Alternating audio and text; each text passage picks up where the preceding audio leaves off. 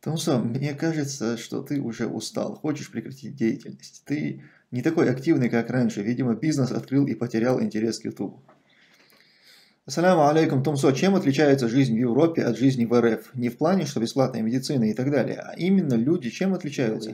Если транслируя это на весь мир, это, это, это была ошибка. Но это, в отличие от нынешней э, Кадыровской Чечни, это все происходило в рамках действующего закона, проходил суд.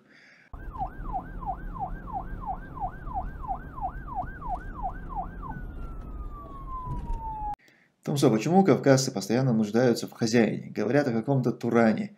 Ходят под Турцию, хотят под Турцию, чтобы ассимилироваться полным ходом. Считаю, Турция ничуть не безобиднее, чем Россия. Ну, я с этим не соглашусь. Турция для нас близкое государство, ментально, религиозно, поэтому она гораздо лучше России. А вот что касается Турана там и прочего, здесь не знаю, не рискну что-то предполагать, не знаком с темой. Томсо, ты обвиняешь Кадыровых в предательстве, но мне непонятно, какой у вас, у Ичкерии, был выход воевать до последнего, до полного уничтожения народа.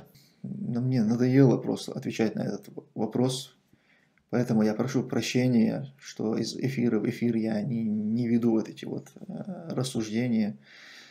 Что нужно было делать? Нужно было бороться, не нужно было предавать. Вот что не нужно было делать точно, так это предавать. А что нужно было делать? Ну, нужно было думать, что делать. Давайте сегодня попытаемся без каких-то политических тяжелых тем просто на лайтс пообщаться. Давайте лучше, например, обсудим какую-нибудь э, неполитичную тему, а отдаленную, отрешенную, там, скажем, допустим, роль а, павлиньего хвоста в дикой природе – вы когда-нибудь обращали внимание, как павлин своим хвостом может украсить любой ландшафт, каким бы ужасным он ни был. Допустим, абсолютно безжизненную пустыню, если ты туда поставишь павлина, и он распустит свой хвост, эта пустыня сразу станет красивой на фоне этого хвоста. Или, например, какая-нибудь выжженная земля, прошел пожар какой-нибудь лесной, ты раз сюда павлина выпусти, он свой хвост распускает, и сразу такой красивый вид. Давайте на такую тему. Саляму алейкум, Тумсо. Павлин – это, конечно, круто. А будет ли заметен Апти со своими штанами на фоне желтого песка? Алейкум ассалям. Я думаю, что нет. Это ведь маскировка. Не будет он заметен.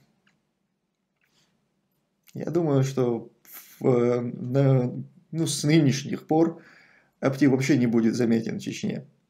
Он где-то там сейчас будет, на дне плавать в должности помощника главы. Это, это, это то же самое, что должность советника президента России. Туда обычно переводят э, людей, как бы, которых уже все списали. Так что с ним можно попрощаться. Ассаламу алейкум, Тумсо. Чем отличается жизнь в Европе от жизни в РФ? Не в плане, что бесплатная медицина и так далее, а именно люди чем отличаются? Есть ли понты, допустим, как вражки, гелик, блатные номера? Ва алейкум ассалям. А, я, правда, не соглашусь с тобой по поводу медицины. Она не бесплатная в Европе, далеко не бесплатная. Медицина, она платная. Просто для определенных слоев населения, которые не в состоянии платить за свою медицину, она для них как бы бесплатная. А в целом медицина платная, и она очень дорогая, в отличие от России. А, допустим, если я сегодня пойду к скажем, к стоматологу, и просто за удаление, допустим, зуба я выложу где-то 150 евро, просто чтобы мне удалили зуб. Представьте, сколько стоит там вылечить, поставить имплантанты там, и так далее. Это вообще огромные а, деньги. Допустим, поставить, я не знаю, 6, по-моему, имплантантов обходится около 10 тысяч евро. Так что медицина, она очень дорогая. Просто а, здесь все устроено таким образом, что люди работающие платят страховку. За счет этого эти, за счет этой страховки как бы покрываются их нужды медицинские. И, соответственно, те слои населения, которые не в состоянии платить за э, свою медицину, а это в том числе и беженцы, которые приезжают сюда, они не в состоянии платить за свою медицину, поэтому их страховка покрывается за счет налогоплательщиков. Так грамотно устроена как бы сама система. А теперь к твоему вопросу. Чем люди отличаются? Есть ли понты, допустим, как в Рашке, Геле, блатные номера? Ну, Европа от страны к стране, она разная. И в разных странах разные э, люди. Где-то есть какие-то понты, э, где-то их нет. В Швеции их нет. В Швеции вообще нет понтов. Ты не поймешь по внешнему виду человека, богат он или беден. А, олигарх шведский, может, э, ты увидишь его там на велосипеде, в обычной какой-нибудь одежде, не принято носить какие-то лейблы. А, что имею в виду под лейблами? Это не значит, что хорошую одежду там от э, каких-то ведущих кутюрье ее не носят. Ее носят, но просто бывает вот это вот выпячивание, когда когда вот как, какая-то одежда с огромными вот этими логотипами брендов, здесь это, ну ты никогда здесь такого, таких людей не увидишь. Шубы там всякие, нет, не носят люди. Вообще в целом здесь не, не принято и считается неприличным выпячивание своего богатства.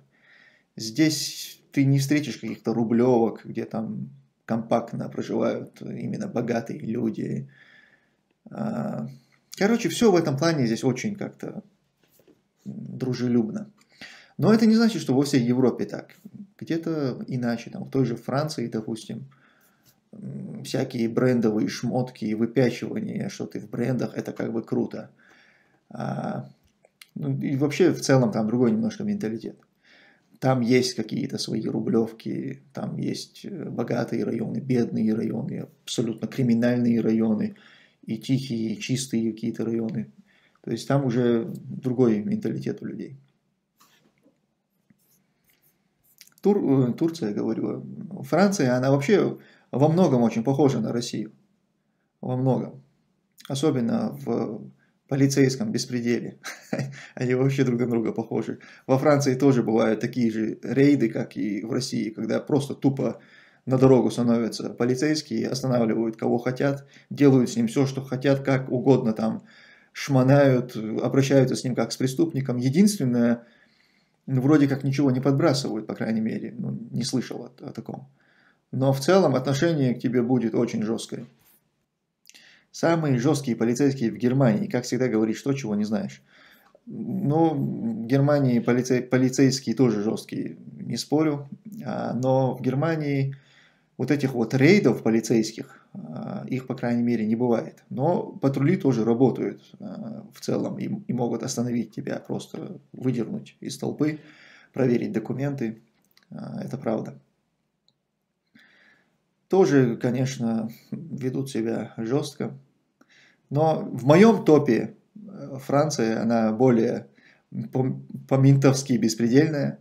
Во Франции на вокзалах ходят вооруженные легионеры потому что у них там какой-то режим чего-то еще с тех пор, как там у них что-то произошло, то ли взрывы, что-то, не помню я. С тех пор еще какой-то режим у них работает, ходят легионеры вооруженные до зубов. А, короче, это напоминает, понимаете, вот, вот эту российскую а, обыденность. В России тоже так, там тоже рейды на дорогах, какие-то блокпосты. А в Германии этого нет. Ты не нарвешься в Германии на блокпост. А во Франции ты подъедешь вот к этому а, въезду на платную дорогу, и это полноценный будет блокпост, там будут стоять полицейские и выдергивать машину, останавливать, шмонать. Потому что мне кажется, что ты уже устал, хочешь прекратить деятельность. Ты не такой активный, как раньше. Видимо, бизнес открыл и потерял интерес к YouTube.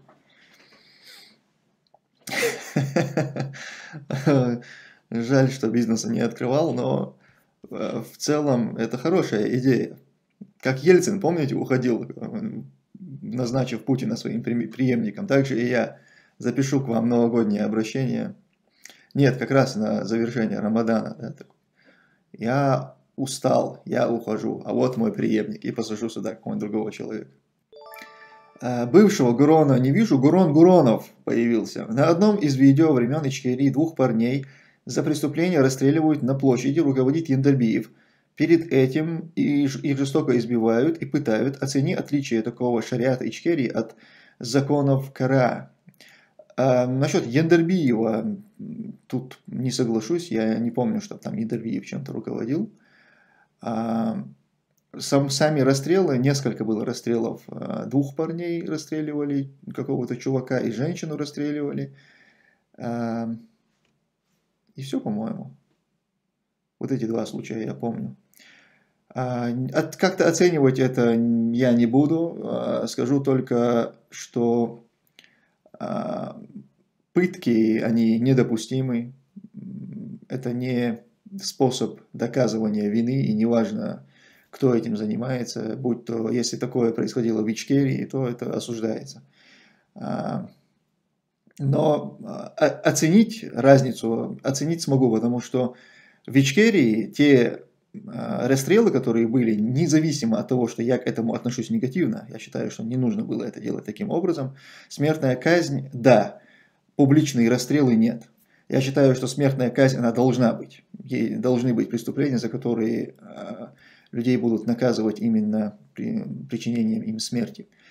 Но вот подобным образом, выставляя это на показу какой-то стены, там, расстрелы, транслируя это на весь мир, это, это, это была ошибка. Но это, в отличие от нынешней э, Кадыровской Чечни, это все происходило в рамках действующего закона, проходил суд.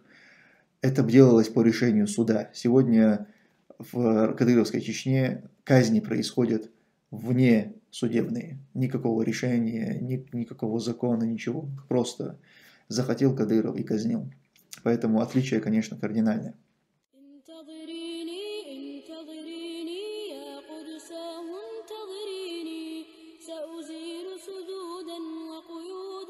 سأمحو رجس الصيون انتظريني انتظريني يا قدساه انتظريني. سأزيل سدودا.